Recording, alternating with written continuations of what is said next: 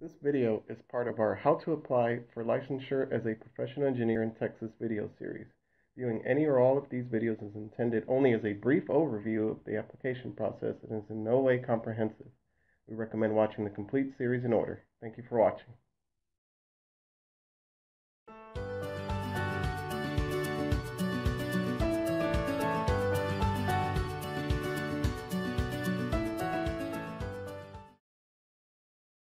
Hello and welcome. Today I'm going to be talking to you about our online PE application. It is available on our homepage, engineers.texas.gov. The link is located here on the right hand side where it says apply for PE licensure. That'll take you here to our landing page, uh, which gives you a brief overview of what you can do, which is, of course, apply for the PE license, electronically fill out and submit the app, pay for the fee once you're done, check your application status when you come back, and also see what deliverables you are missing. In order to start, go ahead and click Apply for PE License. Uh, if you're a returning user, you can log in here.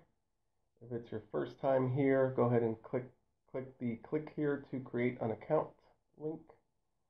That'll allow you to sign up. Once you're done filling this out, go ahead and click Register. I already have an account, so I will log in.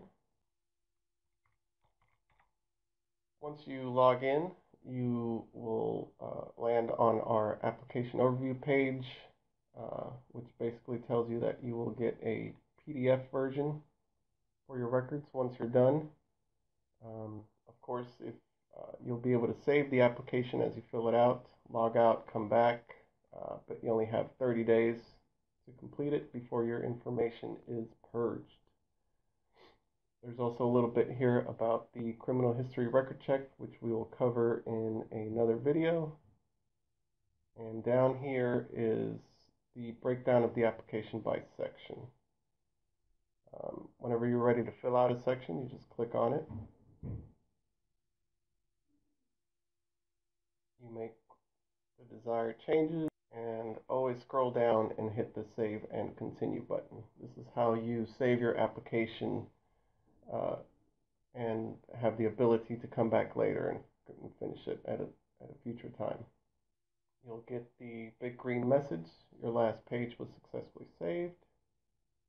Of course, you can always go back to the application overview and it'll give you information such as the last time it was updated, whether or not it's completed.